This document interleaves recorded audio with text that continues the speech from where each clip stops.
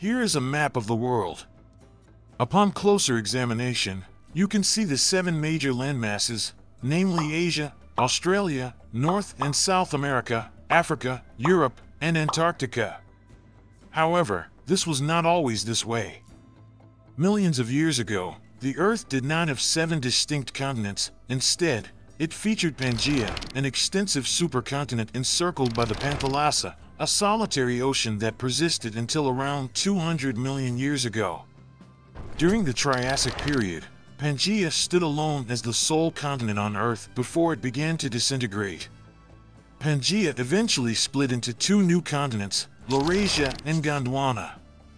Laurasia, the smaller of the two, moved northward and eventually fragmented into what we now recognize as Europe, Asia, and North America. Gondwana, the larger landmass, fragmented into the continents we now recognize as South America, Africa, Australia, Antarctica, the Indian subcontinent, and the Arabian Peninsula, collectively constituting nearly two-thirds of the present-day continents. Gondwana also underwent another division, a discovery that took researchers 375 years to unveil, a hidden continent lying beneath the ocean's depths, thus becoming the world's eighth continent. How did this continent come into existence, and how long has it remained submerged? Join us as we explore scientists' insane new discovery of a hidden continent under the ocean. Before we start, be sure to click on that subscribe button and like this video as it's the best way to support this channel. In 1642, Abel Tasman embarked on a determined mission. This seasoned Dutch explorer was convinced that a vast continent existed in the southern hemisphere, and he was resolute in his quest to locate it. European explorers harbored a steadfast belief that this uncharted landmass, which they preemptively named Terra Australis, must surely be present. During this era, this region of the world remained largely enigmatic to them, despite an enduring fascination with it that had persisted since the time of the ancient Romans.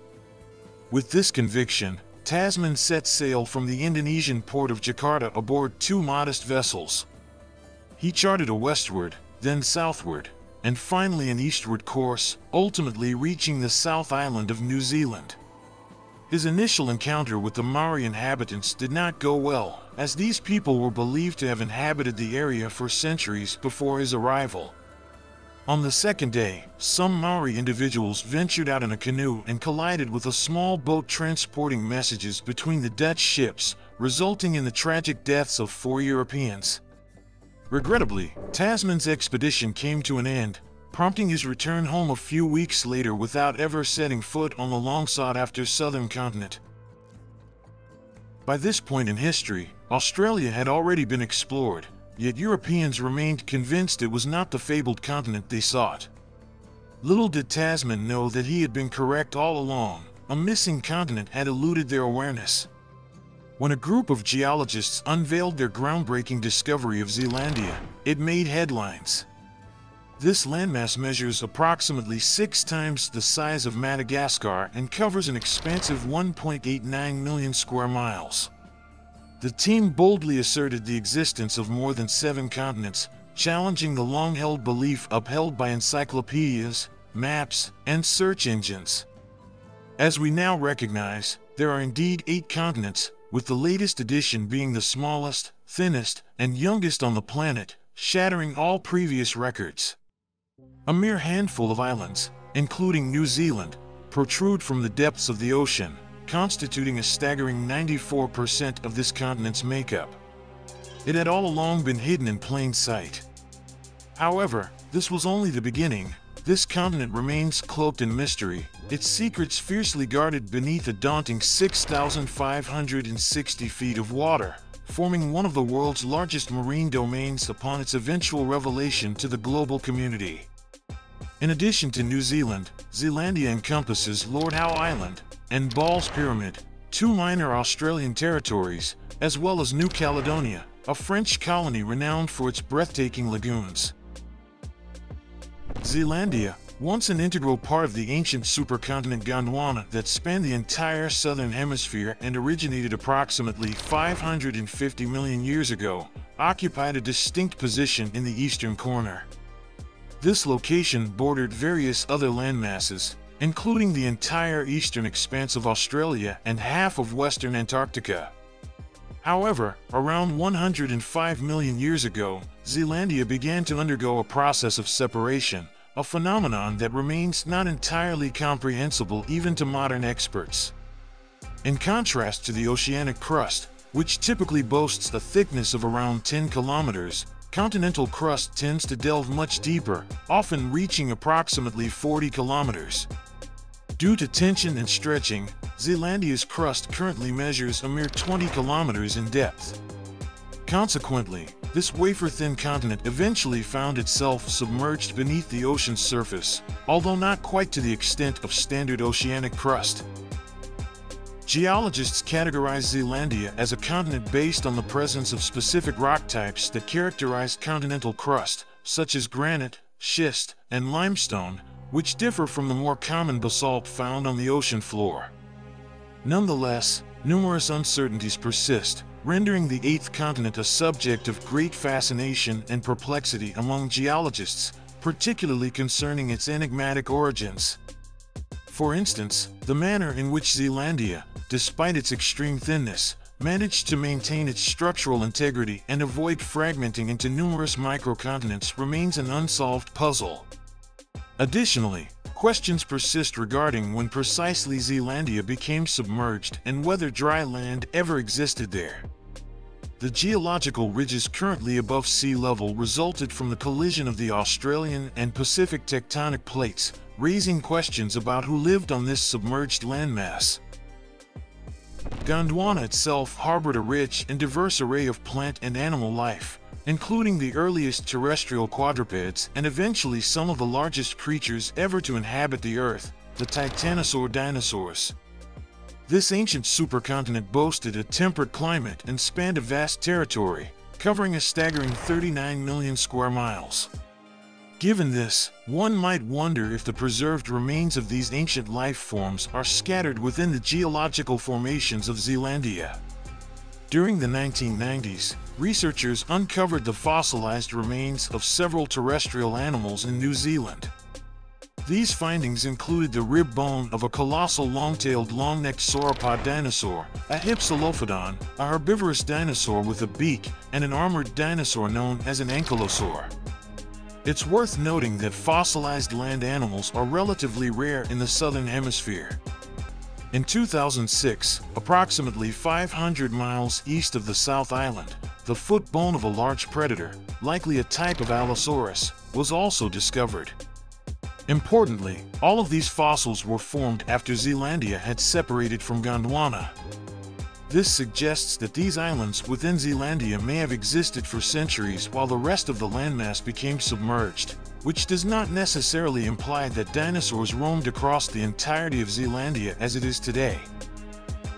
According to Rupert Sutherland, a professor specializing in geophysics and tectonics at Victoria University in Wellington, there has been a prolonged debate surrounding the viability of terrestrial animals thriving without a continuous landmass and whether they would have ultimately perished in such a scenario. The presence of the kiwi, a flightless bird with peculiar features such as whiskers and hair-like feathers has added a layer of complexity to this discussion. Strangely, the kiwi's closest relative is not believed to be the now extinct moa, which was part of the same group of ratite birds and inhabited this same island until 500 years ago. Instead, scientists propose that the kiwi's nearest kin is the even larger elephant bird, which roamed Madagascar's forests until 800 years ago. Current scientific understanding suggests that both of these birds descended from a common ancestor that once lived on Gondwana, an ancient supercontinent. Gondwana took an astonishing 130 million years to completely break apart, resulting in the formation of distinct landmasses, including South America, Africa, Madagascar, Antarctica, Australia, the Arabian Peninsula, the Indian subcontinent, and Zealandia.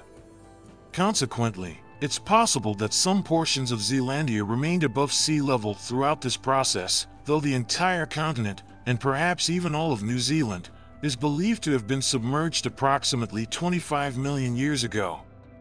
It was generally assumed that all animal and plant colonization occurred after this submersion event. However, researchers have initiated deep-sea drilling operations to explore Zealandia's seafloor in an attempt to gather insights.